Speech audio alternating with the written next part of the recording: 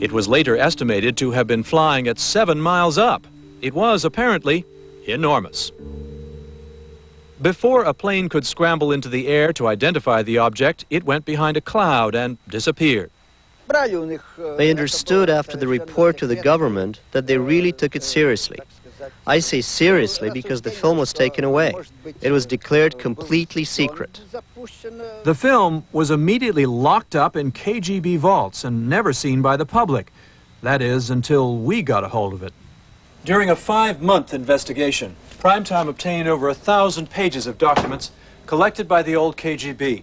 We spoke to dozens of Russian scientists, government officials, and military men.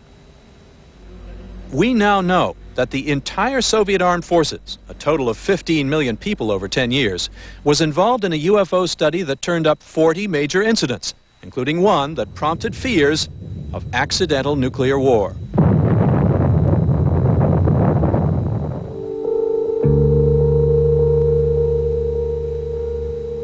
As a result of the study, hundreds of UFOs were recorded, and some were photographed.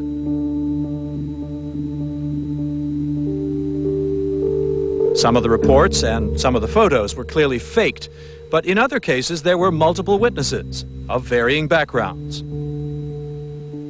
For more than 30 years, the Soviet approach to UFOs was colored by Cold War paranoia. At first, we believed UFOs were something made by the Americans.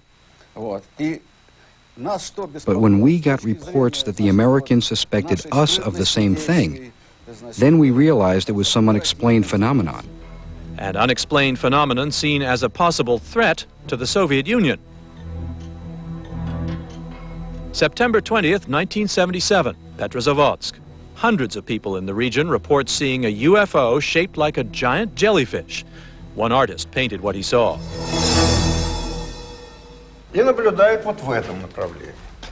Lev Gindilis, a scientist from Russia's top astronomical institute, collected eyewitness reports and used them to estimate the altitude and the trajectory of the UFO. It turned out that it was something like seven miles above the ground. It could not be a satellite, polar lights, an aircraft, or a meteorite. I don't know what it could have been. The military could not explain Petrozavodsk. That worried the leaders of the Soviet Union. What were these UFOs? Who sent them here? The decision was made to conduct a gigantic study. All Soviet military personnel were ordered to report in depth about any sightings or contact with UFOs. Over a 10-year period, 15 million people told Moscow about everything unusual that they saw, photographed, or monitored on radar. October 4th, 1982, Bielokorovice, Ukraine. Near a sleepy farming village, our search brought us to perhaps the most frightening case of all, an incident that could have started an accidental nuclear war. I was riding a motorcycle not far from here. I saw a large object in the air. It had a perfect geometric shape. Every person we spoke to in Bielokorovice said they saw a flying saucer on that day. They told us it was huge, about 900 feet in diameter. For hours, it hovered over the nearby ballistic missile base, where Lieutenant Colonel Vladimir Platunov worked as a missile engineer. It looked just like a flying saucer, the way they show them in the movies. No portholes, nothing. The surface was absolutely even. The disc made a beautiful turn like this, on the edge, just like a plane. There was no sound. I had never seen anything like that before. Lieutenant Colonel Platunov took me to the ruins of what was then a missile silo with a nuclear warhead pointed at the United States.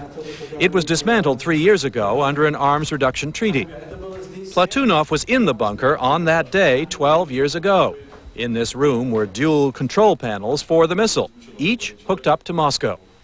What happened next so alarmed the Soviet military leadership that a four-man commission was sent the next day to investigate including Colonel Boris Sokolov.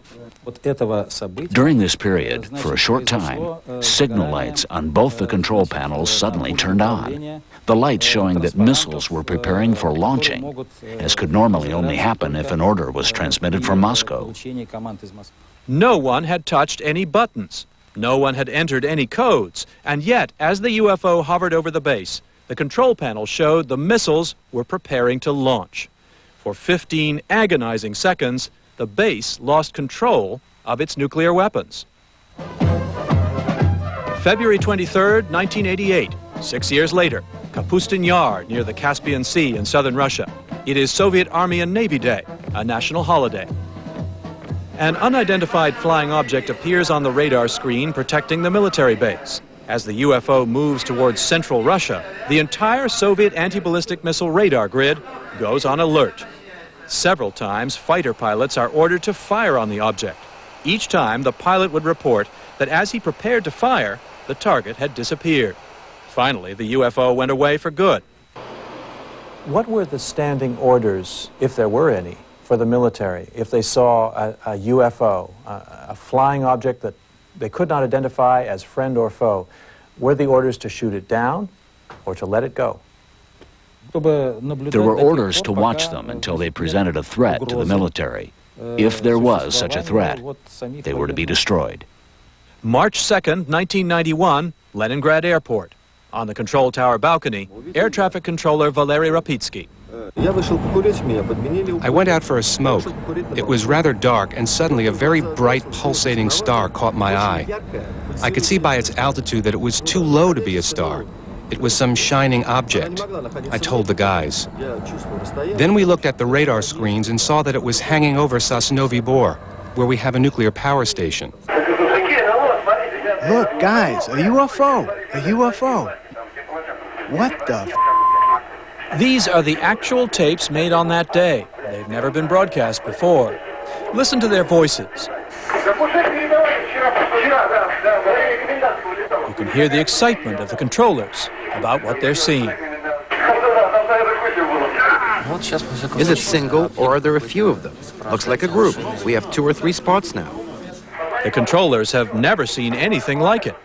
Look how fast it's moving. What is the speed? What is it? It's 3,154 kilometers per hour. That is almost 2,000 miles an hour. No plane known to man can travel at that speed from a dead stop. 40 miles away at the Sosnovy Bor nuclear power plant, workers run outside to gaze at what is hovering above them. Э, what did you think when you saw it? That it was very beautiful. Top Russian scientists who have looked into UFOs tend to be skeptics. I showed astrophysicist Yuli Platov the film in Riga of the Silver Triangle. This one is a research balloon, a triangle-shaped French balloon. No doubt, absolutely. This is a balloon that can go to 18 miles up. The sides of the triangle are 150 feet each. The French government confirms such research balloons were in production by 1968, but we checked, and the only two said to have been launched in the region went up the month after the Riga UFO was seen. Throughout the Cold War, experts say over 95% of all UFO sightings in Russia can readily be explained as man-made, some of their own top-secret space and weapons research programs. Officially, for many years, this launching pad at Plesetsk didn't exist. And remember the 1977 Petrozavodsk UFO? Some experts believe it was really just a cloud of missile exhaust from a secret launch. Even skeptics, though, admit that some phenomena defy explanation. And every year, hundreds spend their summers camped out near places where UFOs have allegedly been seen, trying to photograph and otherwise monitor their activities. Millions in this country believe in the power of faith healers, signs of the zodiac, ghosts. During three years of living in Moscow, I've learned that people here are more willing than Americans to suspend disbelief. Scientific proof isn't everything. There is a mystical side to the Russian soul.